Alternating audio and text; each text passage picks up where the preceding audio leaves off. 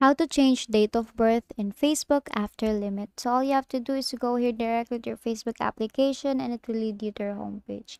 Now the next thing that you want to do is on the bottom part you'll see six different options there. Tap on the three dash lines or the menu and it will look like this. The next thing that you want to do next is to scroll all the way down up until you see settings and privacy and tap on settings. Now here on settings and privacy, you will see the meta here, the account center, tap on personal details and then tap on personal details here under account settings and then here you'll see birthday.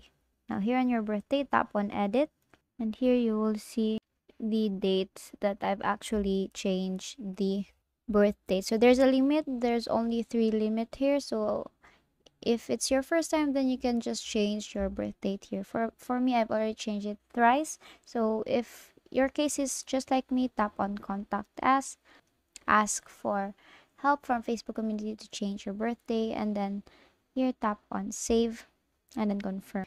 And as you can see here, you have now successfully changed your birthday. And that is all for today. If this video helped you, please give us some thumbs up and subscribe to YouTube channel for more tutorials. Thank you for watching.